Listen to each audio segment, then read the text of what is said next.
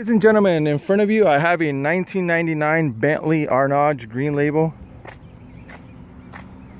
This vehicle previously owned by $112 million lottery winner in California, Cynthia Stafford.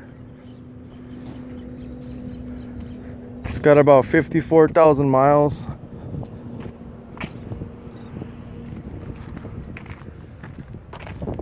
Wanted to show you real quick what the car looks like.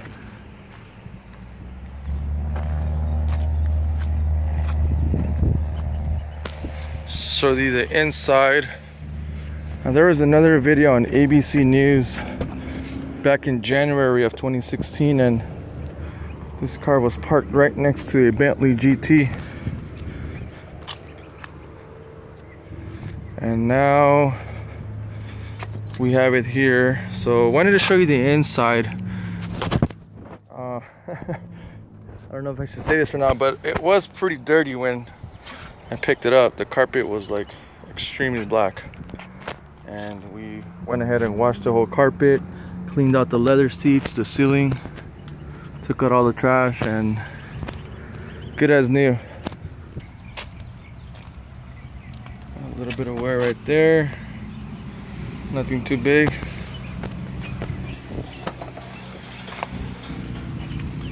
Car runs perfect.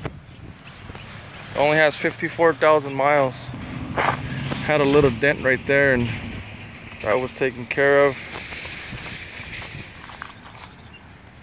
Got a little bit of uh, paint peeling right there. But other than that the car works perfectly fine. All the electronics in the car work. As you can see the sunroof's open. AC blows really cold all the gauges work. Engine transmission. Check check check.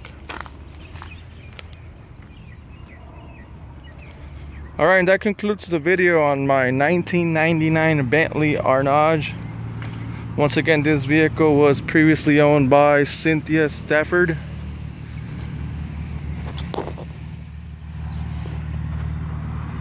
She was a lucky winner of 112 million dollars lottery back in 2007 and I believe in January she filed for bankruptcy and you know bad things happen to good people. So here it is 99 Arnage. Thank you for watching my video